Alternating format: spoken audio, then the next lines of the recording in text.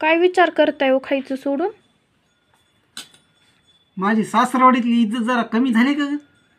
नाही कशावरून वाटलं हो तुम्हाला? नवीन नवीन आलतो मी दोन तीन महिन्यापूर्वी. हं, तेव्हा बसायला पाठ होता. हा. लगेच साईडला कूलर लावलेलं होतं. हा. आता बघ पहिल्या महिन्यामध्ये कूलर गायब केलं तुम्ही तिकडं. वरी नेऊन ठेवलंय. हा. दुसऱ्या महिन्यामध्ये तर पाठ बी नाही. त्यानंतर चटई होती. आता तर चटई बी नाही. मग मी तेच म्हणत होते तुम्हाला जास्त दिवस राहिलं का?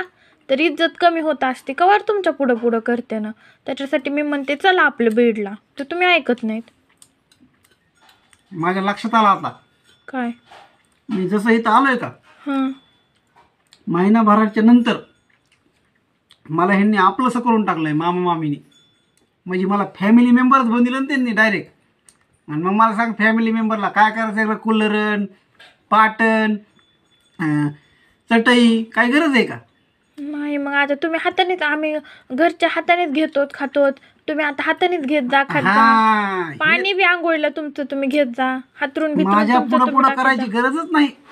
हम्म. मी आता आपला झालोय. आम्ही कधी कधी उपाशी बी राहतात घरचे तुम्ही बी राहता आपलंसं करून टाकलंय